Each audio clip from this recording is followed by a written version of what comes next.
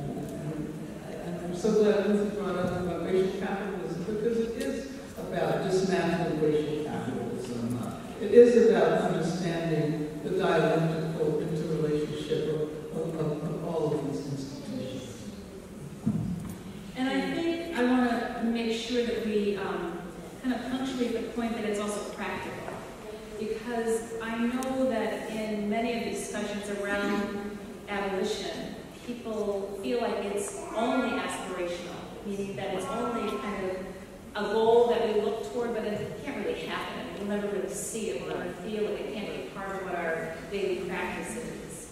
Um, and so I want to dig, and because there are groups here who work on the ground on very practical issues every day, and it's informed deeply by analysis, but it's also often guided by the latest crisis whether it's the latest legislation, or the latest murder, or the latest arrest, it's, it's, it's motivated by an urge to tomorrow have something be different than what happened today. I wonder if you could talk about the kind of practice of abolition and what you, you know, Ruthie, you've been involved in a lot of campaigns, for example, and is there, where, where in your campaign work uh, is there a, a practice of abolition? How does that inform the daily work it's a great question. I could talk all night about it, but I will limit myself to one or two stories. Um, because, as I said a little bit earlier, um, abolition or abolitionism or being an abolitioner, as Rachel said tonight, is uh, an attitude. It's an attitude about how you think about the world you're in. And so, what abolitionist campaigns that I've been involved in and other people here have been involved in have made connections between and among people and issues, vulnerabilities and threats and possibilities that might not seem self-evident if you think that abolition is just about abolishing prisons, police, and certain institutions. That is, if we take a step further and say, why do these institutions exist? And we refuse to say because of crime, then we have to get to some other understanding of why these institutions exist. In fact, many years ago, I just want to say this an aside, when I was working on my dissertation, I went back to school when I was 43 years old. I'd been an organizer and I decided to get a PhD so I could get a job, so I could get a pension and someday retire. it's true. So, still working. Anyway, and I was at Rutgers and Angela came to give a talk. And we had a really good time. We met before, before that um, on a couple of occasions. We didn't know each other at all. And uh, we wound up having a long conversation as I drove into back to the airport at the end of her, of her um, day and a half in beautiful New Brunswick, New Jersey. And, and Angela said, so what are you, what are you writing your dissertation about? And I said, well, I'm writing it about prisons. And she said, don't write about crimes. And I did. Y'all read Golden Gulag? It's not about crime. is it? Right. That's right. But what it is about is about people's everyday lives from all those different perspectives. And people's everyday lives from all these different perspectives are what enable we who are doing abolitionist work to reach out to people who, again, don't think about prisons, don't think even about crime, but think about the conditions of their lives and what they're vulnerable to. So, one case in point, environment and environmental justice. We came to an understanding when fighting against one of the prisons, one of the many prisons that California built over uh, its prison boom period, that a prison, because it's a city, has profound and long-lasting environmental effects that are negative. And therefore, it occurred to us, and this took a lot of work and study, and we didn't do it all by ourselves, and other people helped. So please understand that. It occurred to us then that we could do outreach to people in California's Central Valley, the agricultural region where the prisons were built, who are doing work in environmental justice, fighting against pesticides, pesticides, for example, and fighting for adequate clean water, for example, and other things, to work together to stop this prison. They were not people concerned about the prison per se, but they were people concerned about the environmental quality of their everyday lives. So, for example, we became uh, very actively here in California Prison Moratorium Project and Critical Resistance, and especially the astonishing organizer who's no longer with us, the amazing Rose Braz, Rose Braz Presente, always.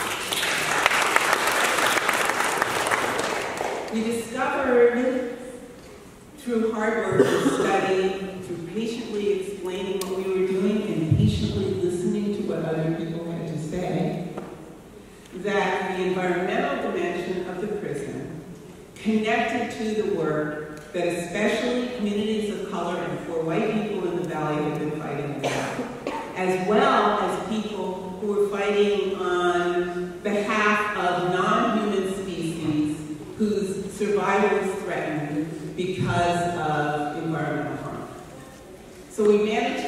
together with these various groups to work on stopping the prison because stopping the prison would mean there would be more water available in the valley for households.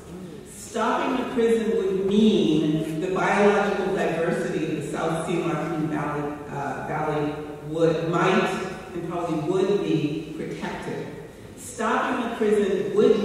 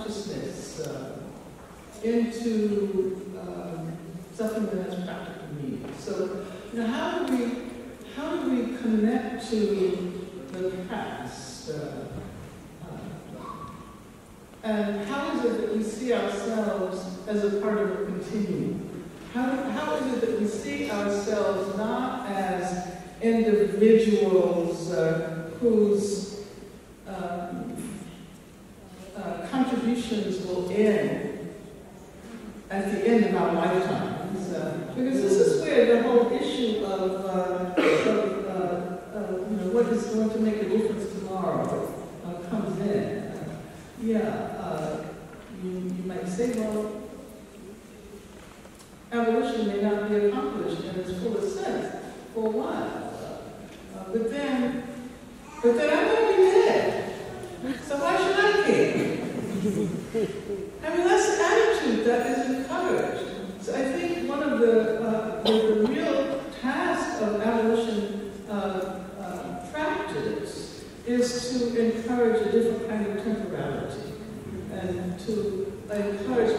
to imagine themselves as the, um, as the, the materialization of past dreams. I mean, after all, we are yes. what our ancestors yes. who were struggling. Yes. Right.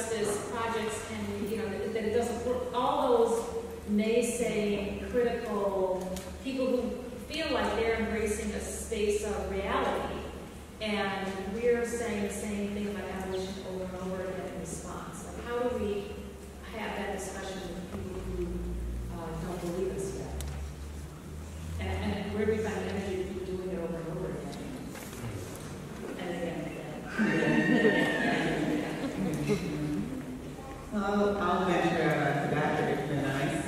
And keep moving, because remember when you're skating on thin ice,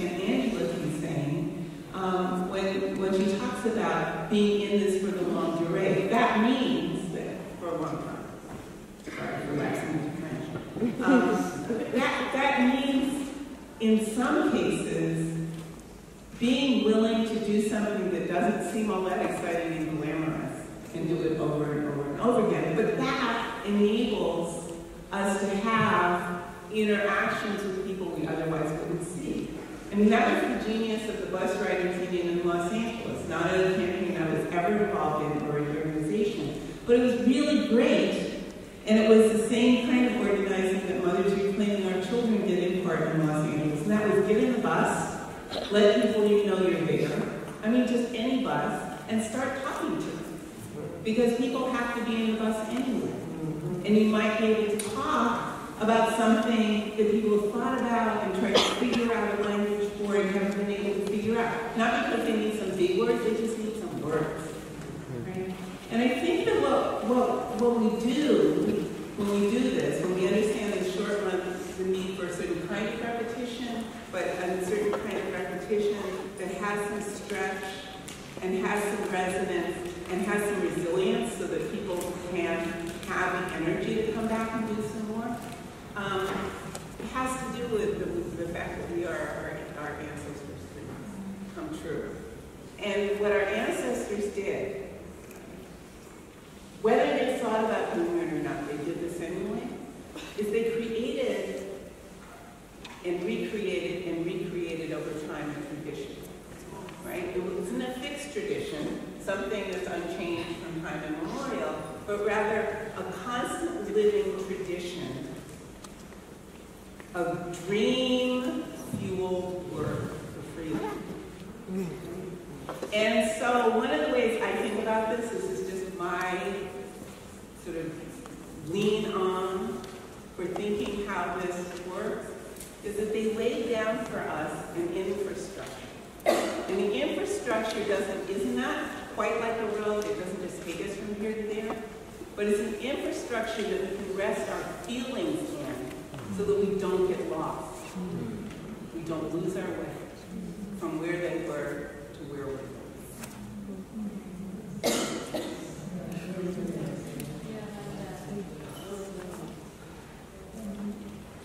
And you know, we don't always say the same thing. As a matter of fact, what has been so exciting about uh, having been connected to activism over generations is unfortunately not so much that we've actually ever, you know, won the, the revolution we thought we and, uh, and believe me, uh, when I was in my twenties, no one could have ever told me that it was going to take longer than about five or ten years.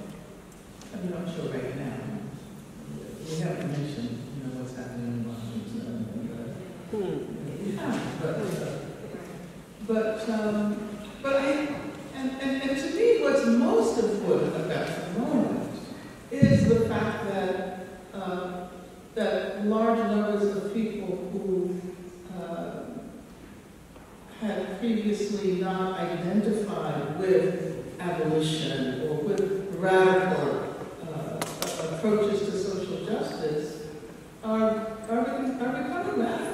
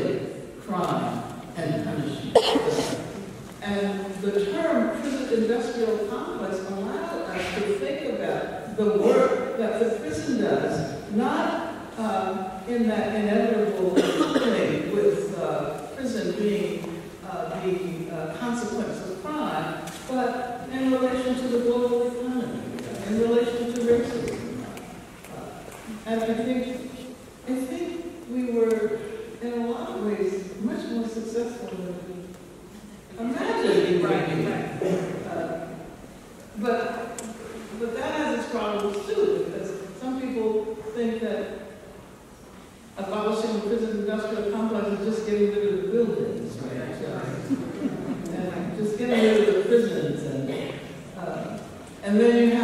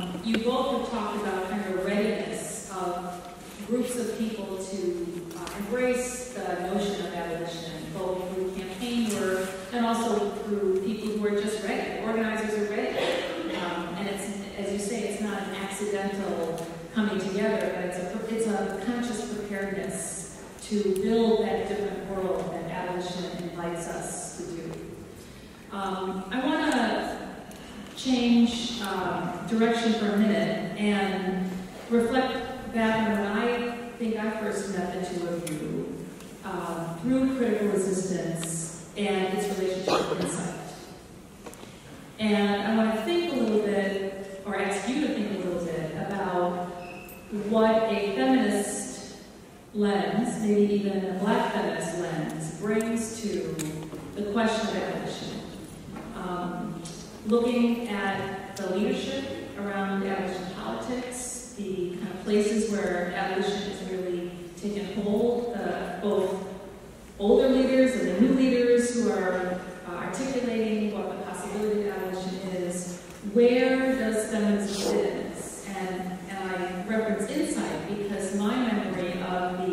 critical resistance INCITE statement when there were groups of people who said, we reject the notion that we have to incarcerate people because it keeps women safe. Right? That was, I think, one of the first cracks in that discussion about, oh, there are those dangerous people, and so we, there's nothing we can do but lock them up. They have to be removed from their families or their communities or households or within the city.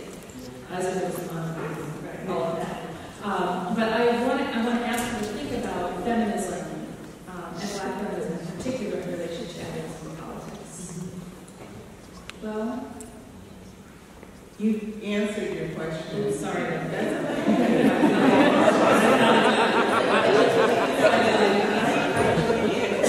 And we might desire to hear more from, Yeah. from people And who we are will sitting in do the that. audience, and also I can sit back and listen to you for a while.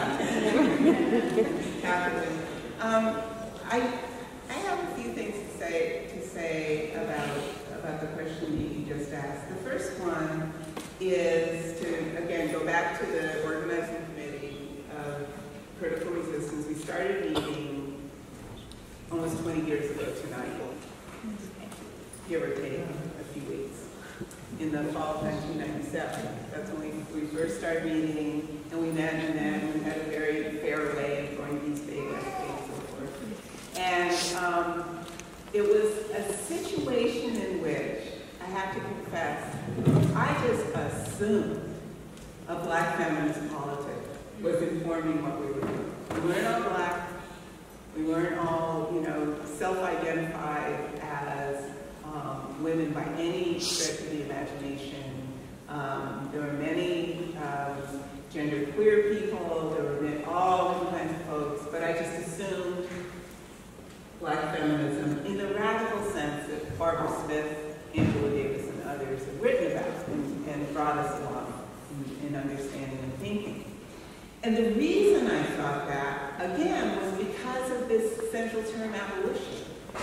And the notion that if we were going to change, for example, the way that people thought about and therefore went about undoing what came to be known, wasn't known yet, as mass incarceration, then when we had to think about what kinds of relationships do we have in our households and communities.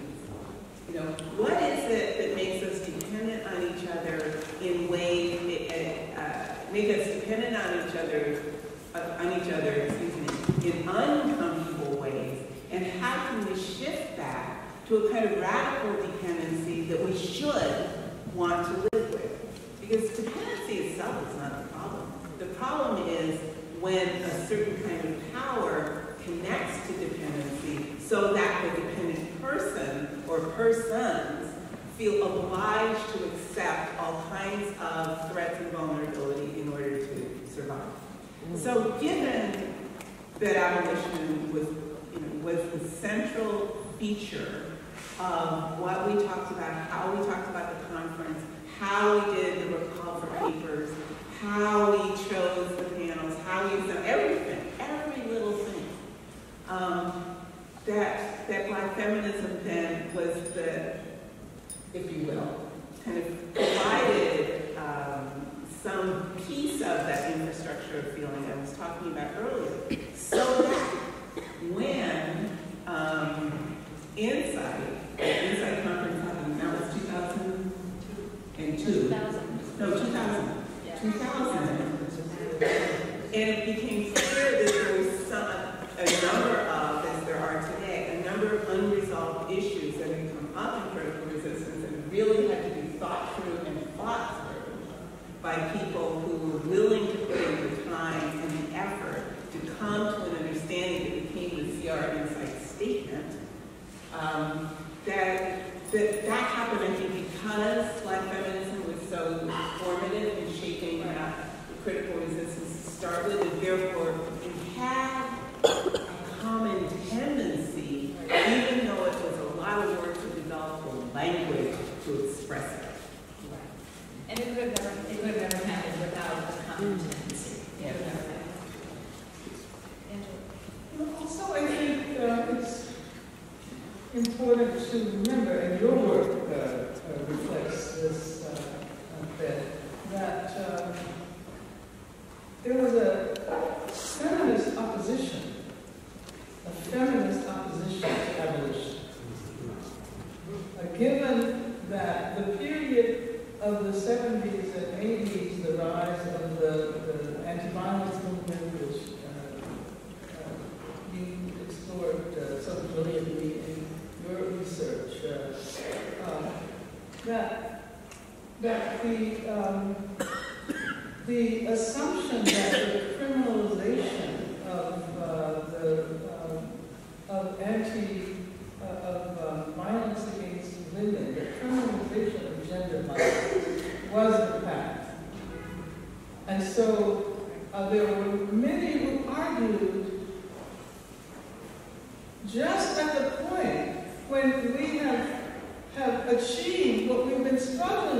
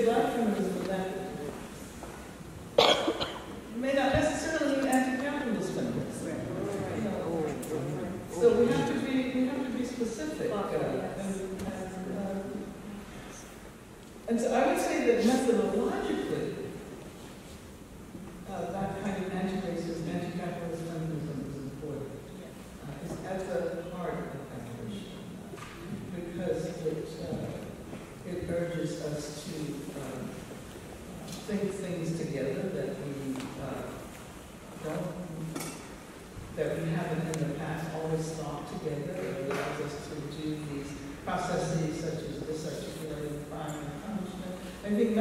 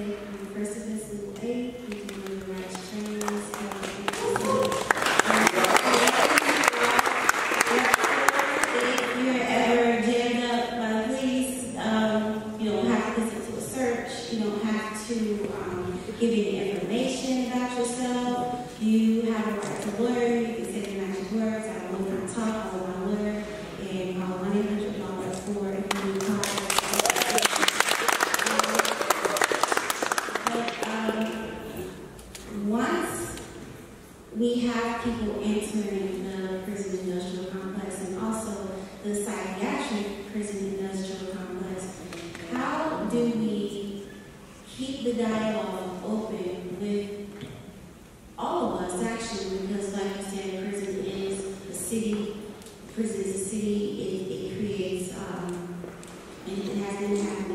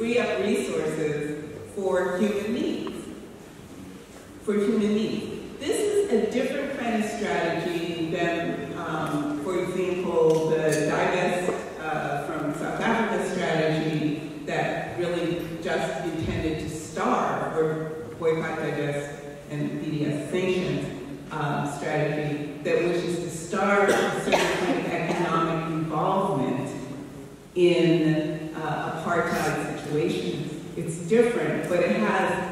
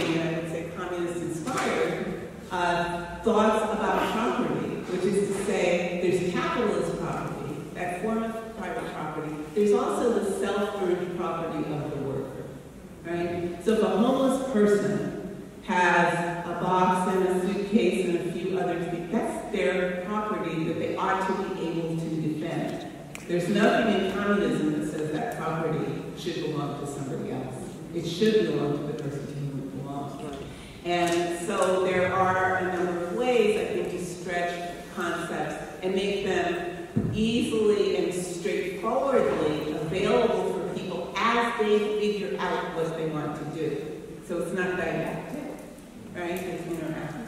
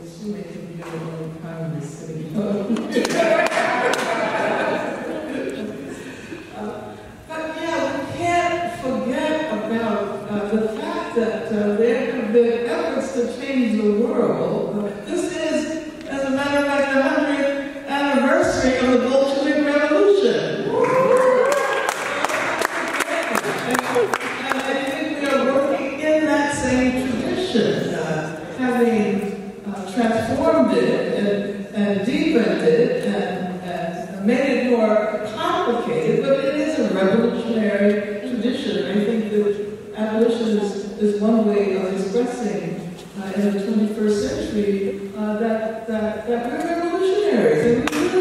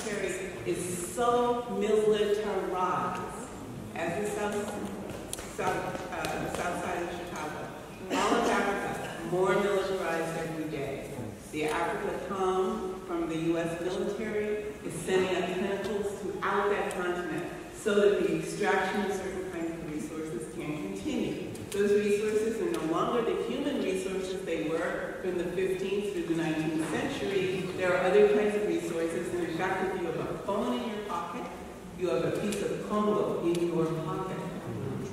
In your pocket, right? Because certain kinds of metal uh, only found in a few places on Earth goes into every cell phone. So you have it in your pocket. How did that get in your pocket? So G4S is there to protect the interests of certain kinds of firms, and it's branched out and it's retreated.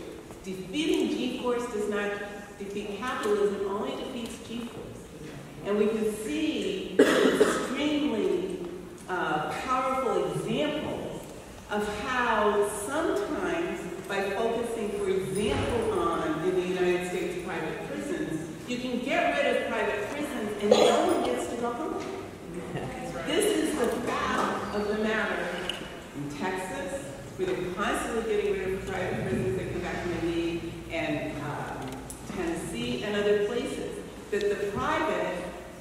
is a problem, it's not the problem, unless we can show it is. So that has to do with the analytical intensity we bring to every, every struggle. So I'm not saying G4S is okay, it's not, of course it's not. It's capitalist firm, it's a capitalist firm that makes its money making war. But getting rid of it without again corralling all of the forces and relations that make it so powerful is not abolitionist, right? It's not abolitionist, even though we can't get rid of everything overnight. And I want to say one other thing about, about abolition, and that is abolition is not just an absence, it's a presence. So abolition is not just, as you know, Angela said from the start, and Beth has said, and many people in this room know, it's not just the absence of prisons, it's the presence of a different set of relations. It's not just the absence, so we want the absence of violence in households and communities, but that requires the presence of something else. In the short run, it might be the presence of us standing in the street. But there's, uh, there are other presences that come into being. And it's not that hard, I find, for very young people to grasp that and run with it. And I mean very young, even younger than some of the incredible young people we heard from earlier this evening. I mean 12 and 13 year olds and younger. So we can take our, our cues from, from all ages. But the abolition has got to be present. So all of the work that we do necessarily means we're not only trying to get rid of something, whether it's G4S or a prison or violence in the household, but that means we're trying to make these various presences come into being. Whether it is strengthening labor unions in the public sector in the United toward the goal of uh, public complex organizations, what we call the state, serving us instead of destroying us, or other things. Abolition is presence.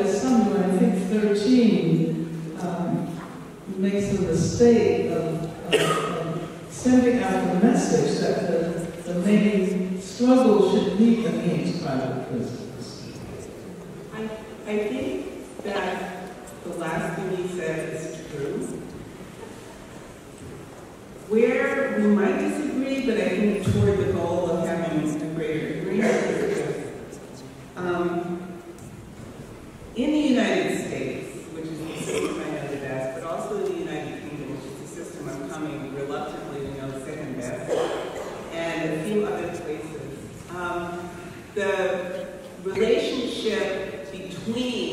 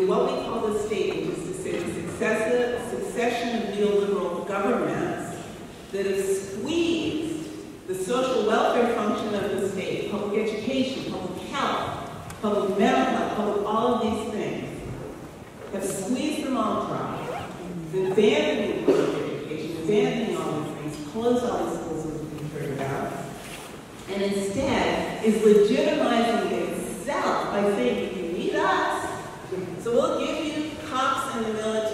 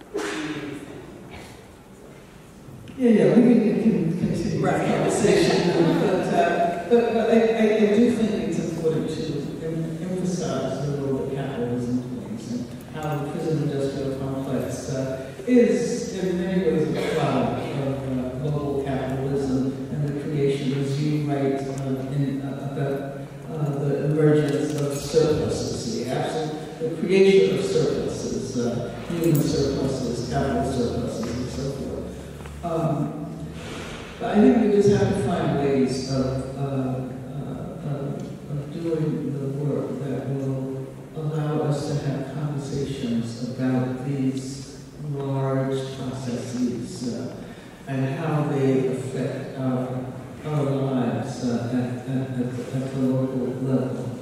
And particularly in the U.S., because we still have a tendency to be so U.S.-centric. We may talk about ourselves without even uh, acknowledging that this, this country consists of only 5% of the world's population. Uh, and now everybody thinks we must be absolutely out of our mind to have elected someone like, uh, yeah.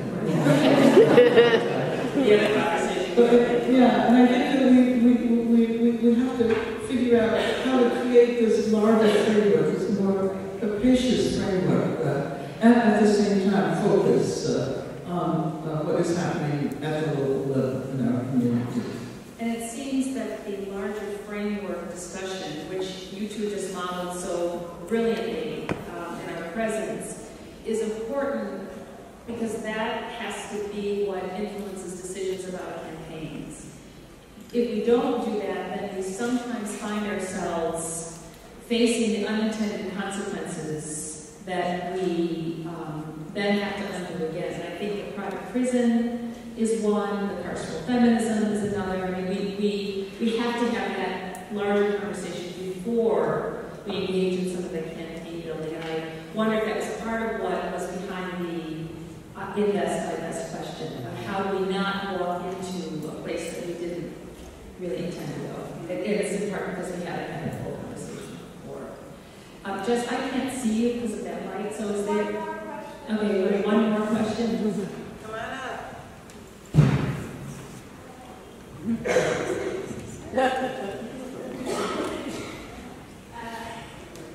Hi, um, my name is Masha, and I'm, and I'm with the Assata's Daughters. Um, I, my question is about like U.S. imperialism and capitalism, but um, I want to ask, in your opinion, how can you like help stop the school to prison pipeline in the Chicago public uh, school system? In your opinion? Well, we're in a room full of Chicago organizers. Uh, and Chicago organizers are the best. Really the best.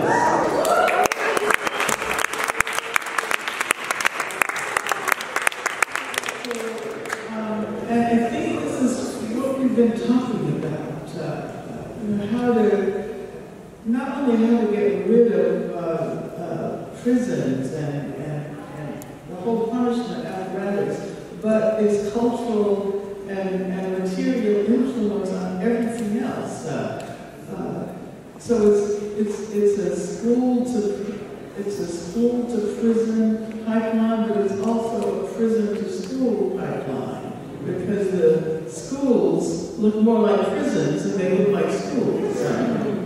And I think the way you get rid of it is doing the organizing. Uh, and, and you remember Assata's Daughters, right? One of the baddest organizations in Chicago.